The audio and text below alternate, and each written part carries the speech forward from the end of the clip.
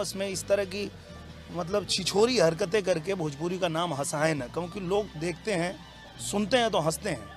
ये देखो भोजपुरी के स्टार लोग लड़ रहे हैं।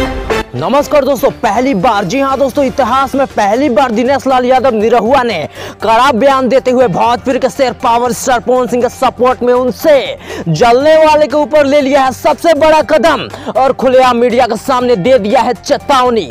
पूरी खबर आपको बताएँगे कि इंटरव्यू के बाद भोजपुर इंडस्ट्री का माहौल इस तरह गर्माया कि अब ठंडा होने का नाम ही नहीं ले रहा है। जी हाँ दोस्तों, पूरी खबर की जानकारी दे, उससे पहले अगर आप भी हमारे चैनल पर नए हैं तो चैनल को सब्सक्राइब करते हुए हमें बताइए कि भोजपुरी के सबसे बड़े सुपरस्टार कौन है? जी हाँ दोस्तों, आपको बता दें कि पावर स्टार पवन सिंह होली के पहले विरोधियों को सबक सिखाने के लिए गाने पर गाने ला रहे हैं। पावर स्टार पवन सिंह की पहुँच इतना ज़्यादा बढ़ गई है कि वो इतिहास में पहली बार इतना बड़ा गाना लाने जा रहे हैं, जो कि शायद ही कभी भोजपुरी में ऐसा गाना बना हो। जी हाँ दोस्तों, हम बात कर रहे हैं power star Pawan Singh Bollywood गाने का, जिसका नाम है तुम्हारे सिवा।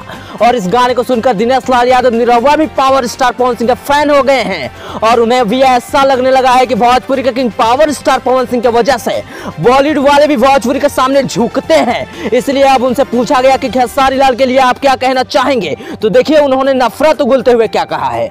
अभी भी गायके बने रहोगे, हीरो बन गए ना। लोग सुपरस्टार बना दिए, अभी भी गायके बना रहने चाहते हैं।